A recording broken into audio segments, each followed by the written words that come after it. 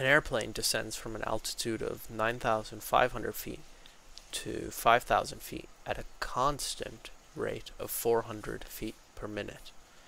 Which type of function best models the relationship between the descending airplane's altitude and time? So we can think of the function as a function of time and this function will give us the altitude. So we'll put time on the x-axis and the altitude on the y-axis. So here it says that the airplane descends at a constant rate of 400 feet per minute.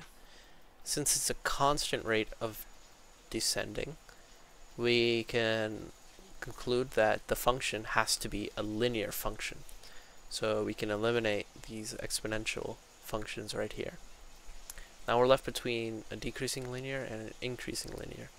Now the question said that the function is descending because the altitude is descending with respect to time, which means that the altitude is going down.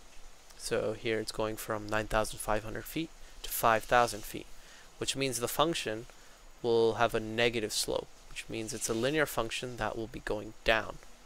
So the altitude will be decreasing. So it can't be a linear increasing function because we need the altitude to be going down. So the function that best models this would be a decreasing linear function. That would look something like this.